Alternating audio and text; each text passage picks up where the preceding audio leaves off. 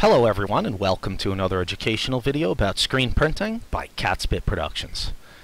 I am doing a video that was requested several times by several different people and they asked me how do I make my registration marks when when you see that I do these really simple spot colors, you know, one, uh, two colors, three colors, and I have these kind of uh, beefy registration marks that I use and people were asking me about them. So how do I create them? Okay, so here's a simple little spot color setup. It's on three layers basically because it's a three color even though that you see I have four layers because I have a little branding going on over here, okay, but that's locked. So basically we have three layers. Okay, we've got a color here that we're going to use or could use. This is another color and then this one prints over it like that, you know, like two registration marks getting lined up. So there'd be two different colors, right? Kind of cool. Like they're about to get lined up. So you have three colors. One, two, three. Okay, so it's a simple spot color, very easy. Each screen is done by printing the film. So we would print this. This is one film positive, then the other, then the other, right? Okay, but what about your registration marks? So what I do for this kind of thing, it's really simple. I just create a new layer, okay, layer 5, and you know, you want to have your artwork visible at this point, sorry.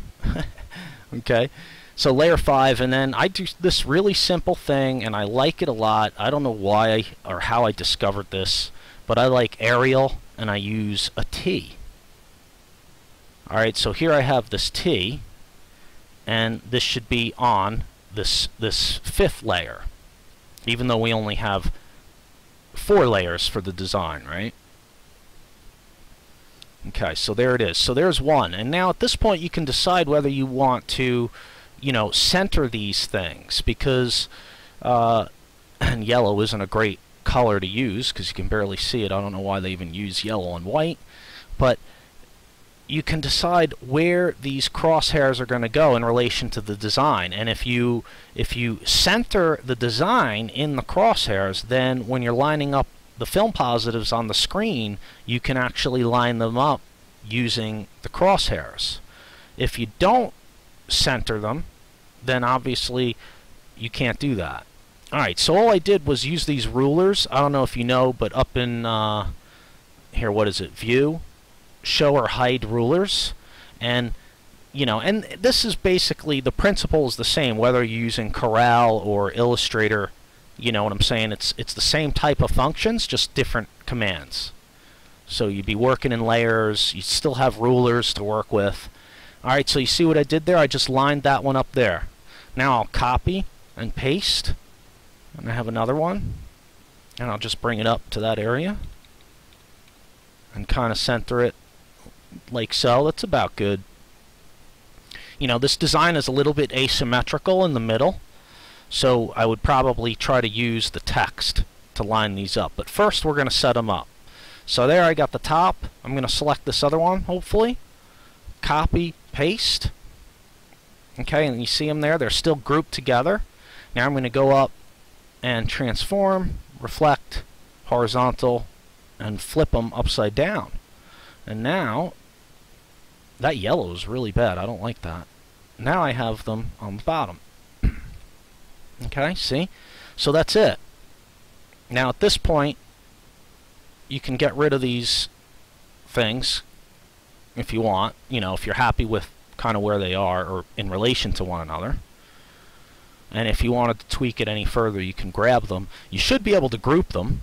I was having trouble grouping mine earlier. Sometimes Illustrator doesn't want to cooperate Alright, so I centered them a little bit, but this is good enough for the to show you. Okay, so so there you go. And you they don't have to be this big. You can shrink them down a little bit if you wanted to. Okay. What did I have mine? 52, right? Okay, so they're all 52. They got to be the same. And now it's ready, basically ready to print. Okay, you have, now for the design you have one, two, three, four layers. This layer controls the registration marks. Oops, my mouse is wobbling around. Here we go. Okay, so that controls the registration marks. That layer would be on all the time. And then now, when we go to print the film, we're going to just do one at a time like this. And that's it. Uh, print that. That's one piece of film. Print that. That's another piece of film. Print that, and that's your last piece of film. Okay, so all together, we have the four four layers for your registration. excuse me, and for the design itself. Alright, and that's it. That's how I do my registration marks for simple spot colors that I might manually separate like this or just create on layers so it's already kind of manually separated as you create it. So there you go. Simple Arial black, or uh, not Arial black, regular Arial, capital T, and then flipped upside down for the bottom. Very simple registration mark. It works really cool. I like it. Uh, the few people who've tried it say they like it a lot. So there it is. Shared it with you. That's all. Very simple. Blah, blah, blah. Alright, guys. Hope you enjoyed that. Um, thanks a lot for watching. As always, I appreciate your time and attention. So uh, please subscribe, and we will see you next time.